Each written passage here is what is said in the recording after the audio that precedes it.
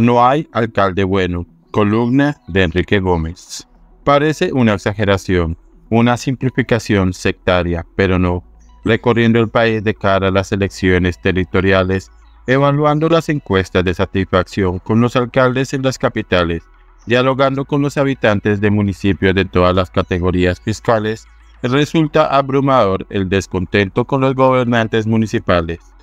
Hay seguro las excepciones, tan escasas en mi opinión que son difíciles de ubicar y se tornan en marginales en el análisis de los resultados para el país de cerca de 35 años de elección popular de alcaldes.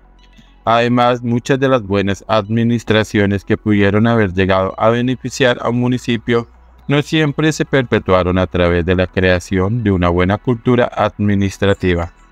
Claro que las grandes ciudades del país y algunas de las intermedias han avanzado en la creación de una cierta cultura de gobernanza y procedimientos administrativos suficientes para mantener la estabilidad del funcionamiento del poder municipal. La inercia propia de las administraciones mantiene la operación del poder municipal generalmente a los trancazos y de crisis en crisis, en medio de un decaimiento generalizado de la infraestructura de los servicios públicos, el estancamiento económico, la decadencia de los parques de maquinaria y la entrega casi que sistemática y generalizada de los servicios públicos a concesionarios de todos los pelambres en contratos a largo plazo que, en muchas ocasiones, son leoninos o implican la concesión de rentas a largo plazo con inversiones mínimas por parte de los beneficiarios. Estas concesiones municipales en acueductos, saneamiento, alumbrado, recaudo, multas, catastro y otros rubros de responsabilidad promovidas bajo el presupuesto sano de la colaboración público-privada en la ejecución de servicios públicos o funciones públicas, se han transformado en un mecanismo de corrupción y perpetuación en el poder, no siempre trayendo un servicio de calidad y muchas veces representando un pobre negocio financiero en el cual las inversiones realizadas son mínimas y no representativas de las necesidades de los usuarios y el cuidado de la infraestructura entregada resulta casi que ineludible, deficiente o inexistente, como en el caso de la famosa y desastrosa Electric Caribe. En efecto, las recurrentes improvisadas concesiones muchas veces enriquecen al alcalde que las concede, pero además liberan recursos de inversión municipales que dejan de destinarse al reforzamiento de las capacidades de atención e infraestructura y en su lugar se transforman en combustible para alimentar las ya hoy universales nóminas paralelas que pueblan todas las alcaldías del país y de los entes adscritos o vinculados a estas y permiten,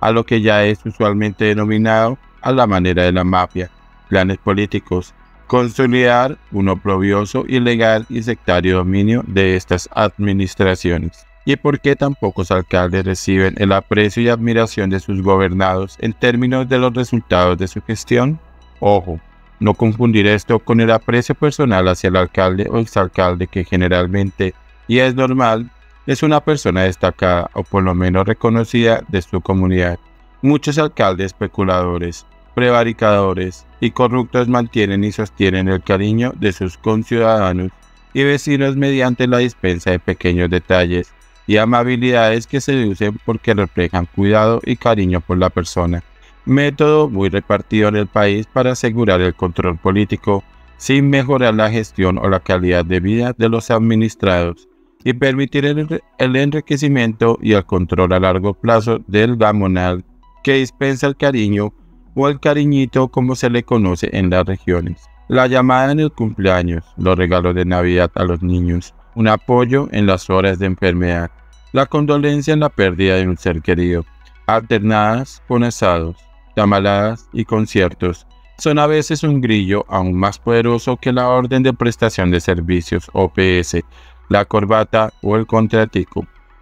Vienen a la mente varias hipótesis que buscan lograr un análisis más ilustrado que el que parece haber abordado el Departamento Nacional de Planeación de manera inconstante y errática o el Ministerio de Hacienda de manera resultadista, en términos de indicadores fiscales y financieros que hoy, en una nueva faceta del centralismo tradicional colombiano, destruye totalmente la autonomía política y administrativa que era el objetivo original de la elección popular en primer lugar. La primera y más invocada es la de la corrupción, expresada en dos objetivos consistentes. Hacerse alcalde sigue siendo una ruta para el crecimiento patrimonial para él y su camarilla. La lista de peculados y condenas es abrumadora y a pesar de ello la impunidad es altísima. Si el alcalde cuenta y engrasa las conexiones adecuadas en la cadena alimenticia política. La otra gran expresión de esta corrupción se enfoca a la consolidación del poder político para los cuatro años más, como dice un corrupto alcalde en ejercicio del centro del país en estas elecciones. Dispensar de manera modulada órdenes de prestación de servicio, subsidios, becas, ayudas por emergencia invernales falsas o verdaderas, anotar a los ancianos en paseos y celebraciones.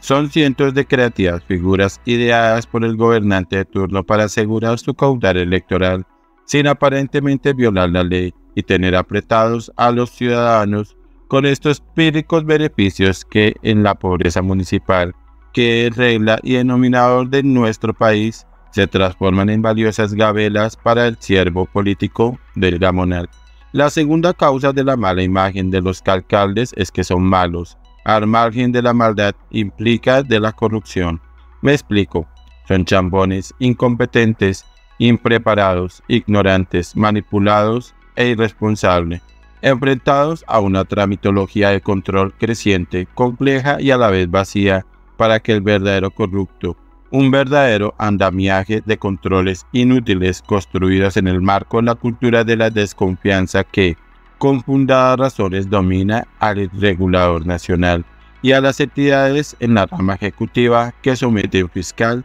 y regulatoriamente a los entes territoriales.